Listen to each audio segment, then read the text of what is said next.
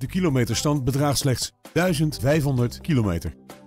De auto is van bouwjaar 2017. De dieselmotor zorgt samen met de automatische transmissie voor prima prestaties. In het praktische interieur bent u comfortabel onderweg. Voorzieningen als een bandenspanningscontrolesysteem, heel hot control en LED achterlichten helpen u om elke rit tot een veilige rit te maken.